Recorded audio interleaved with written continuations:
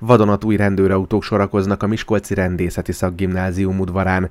Ezek a kocsik december vége óta megyénk útjain teljesítenek szolgálatot. Vereckei Csaba, a megyei rendőrfőkapitányság vezetője az átadón emlékeztetett. Magyarország kormánya korábban döntés hozott arról, hogy a rendvédelmi és a honvédelmi szervek használatában lévő elhasználódott járműveket több ütemben korszerűekre cserélik.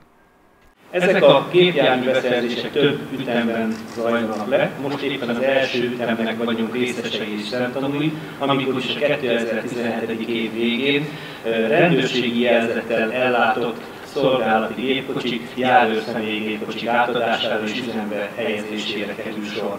Ahogy ez látható a felsorakozott járművekből, Audi, Mercedes, Skoda, Suzuki és Volkswagen típusú autókat kap a rendőrség.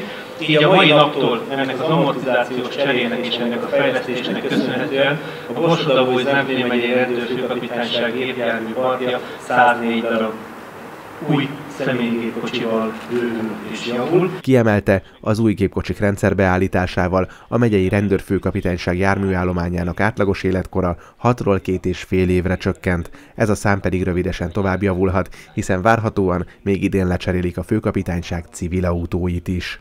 Toldi Tóth Gábor, a Kazincbarcikai rendőrkapitányság vezetője a Kolor TV-nek azt mondta, a beszerzésnek köszönhetően jelentősen javulnak a helyi munkatársak munkakörülményei és a kapitányság hatékonysága.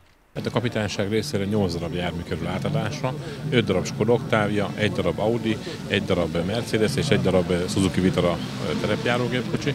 Ez azt jelenti, hogy a kapitányság rendészeti kialakítású járműparkja gyakorlatilag teljes egészében megújul. Az új gépkocsik megfelelnek minden biztonsági, környezetvédelmi és rendőrségi követelménynek. Felszerelték őket többek között téli és nyári gumikészlettel, légkondicionálóval, számos vezetés támogató rendszerrel, de új, lett technikájú szirénákat, hivatalos nevén fényhidakat is kaptak. Ezeken akár rövid tájékoztató üzenetekkel is segíthetik a rendőrei a közlekedőket a jövőben.